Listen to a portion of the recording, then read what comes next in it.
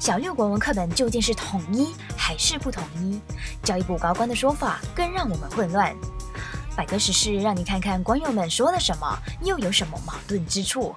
啊，在内阁里面已经推翻了要统一各源流学校这个国文课本。啊，无论如何，这个课本局只准备了一个课本，那么也这个时候呢送到了所有的学校。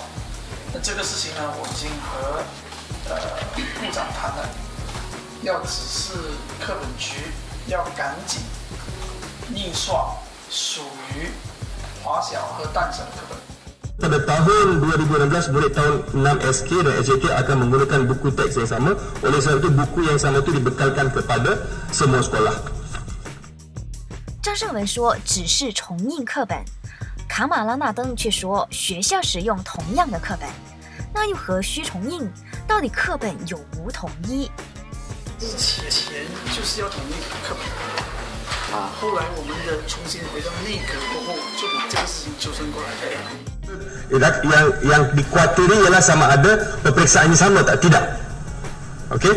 Uh, Jemaah Menteri uh, Mesyuarat Jemaah Menteri pada 30 Oktober 2015 telah memutuskan bahawa penyamarataan bahasa Melayu SK dan SJK tidak diteruskan. 按照张胜文说法，内阁不统一课本。卡马拉纳登却说，内阁不统一考试。到底当时的内阁会议是不统一考试，还是不统一国文课本？不过这到了教育部长，却是又另一番说法。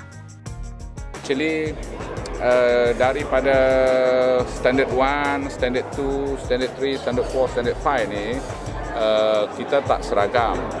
Kita tak seragam. Tapi come to the uh, standard 6 ni kita cuba. Tapi untuk tahun ni uh, saya pun baru masuk kementerian ni, saya tengok uh, kita masih tidak seragam lah. 为了收拾这番乱象，教育部长马哈基尔卡利承诺在十二月四号宣布最终的结果。